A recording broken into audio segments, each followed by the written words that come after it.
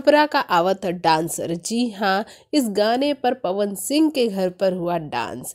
अब आप देख लीजिए कि पवन सिंह अपने घर में जो टी शर्ट पहने हुए हैं, वही छपरा से आवत डांसर। जो गाना है उसमें भी पहने हुए हैं और उसी गाने पर उनके घर पर जमकर हुआ डांस और सिर्फ़ और सिर्फ़ उनके सबसे प्रिय भतीजे सत्या के बर्थडे पर, जी हाँ सत्या के बर्थडे पर जमकर थिरके पवन सिंह और अपने गाने पर थिरके पवन सिंह। वैसे पवन सिंह अपनों की चीज़ों को स्पेशल बनाना जानते हैं।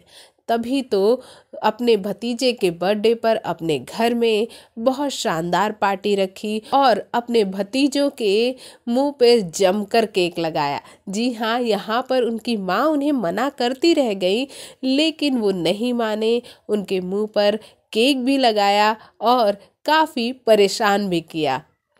वैसे पवन सिंह का एक दाव पड़ गया है बड़े बड़ों पर भारी, और यही कुछ उन्होंने शायद खेसारी को नहीं, राकेश मिश्रा को दिखाया है अपना दम। जी हाँ खेसारी लाल यादव से तो इनकी ट्यूनिंग बहुत अच्छी हो गई है।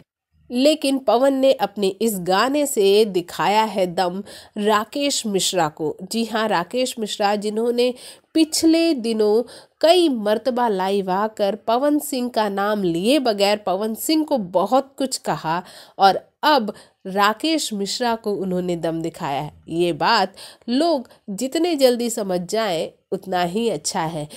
पवन सिंह को जानने वाले ये जानते हैं कि भले ही नाम छपरा का लिया गया हो, लेकिन ये तीर जो पवन सिंह की तरफ़ से छोड़ा गया है, वो किसी और के लिए नहीं, वो राकेश मिश्रा के लिए है।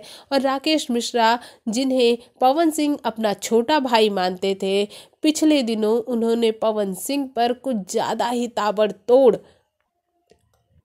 हमले किए। पवन सिंह का नाम लिए बगैर उनके सपोर्ट में अक्षरा सिंह भी आई। उन्होंने उनके गाने को मिल रहे यूज़ रिस्पॉन्स पर भी अपना वीडियो पोस्ट किया था।